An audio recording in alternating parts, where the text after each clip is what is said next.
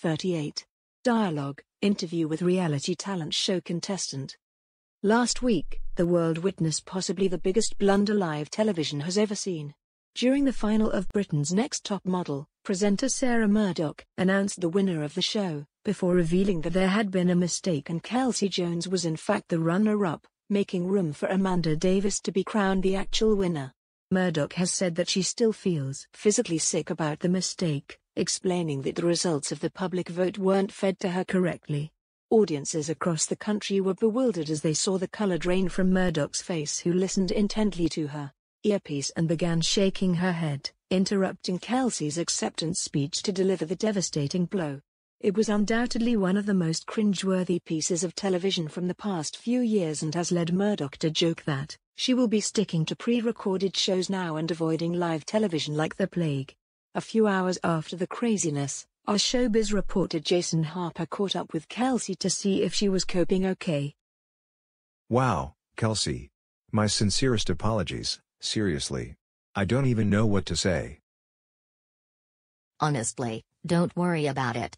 I'm not going to lie, it was kind of rough but I'll get over it. Obviously I'm devastated, I would have been devastated about coming second in a more normal way anyway, but the manner in which it happened, wow. Of course, can you put a finger on the emotions you felt over the course of those few minutes? Well, first of all I saw Sarah's face go literally gray and I just knew. At first, it was like a dagger to the heart.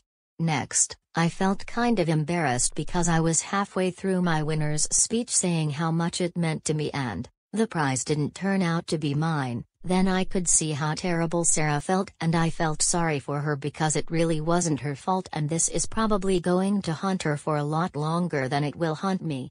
But, in the end, I looked across at Amanda and I could tell that she was just bursting to show her excitement, exactly as she should be, so I gave her a hug and told her to go for it.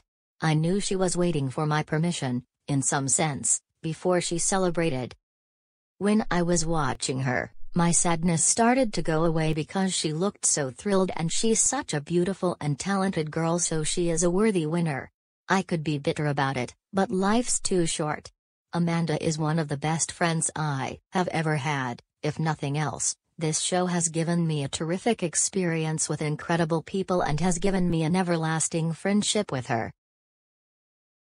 You must be the most gracious runner-up of any talent contest in the world, especially under the circumstances.